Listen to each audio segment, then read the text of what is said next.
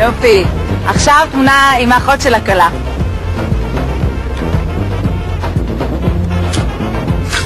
מעולה. עכשיו מי שלבש חליפה פעם ראשונה בחיים?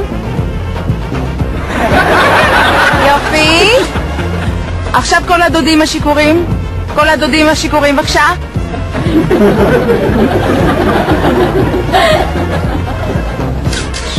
זה שלא הוזמן ובכל זאת הגיע? כן. בבקשה. כל מי ששכב עם הכלה, בבקשה.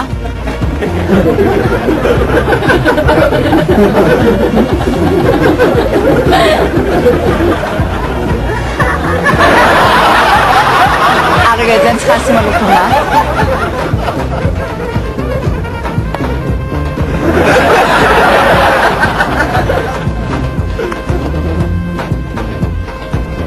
אה, כל מי ששכב עם החתן.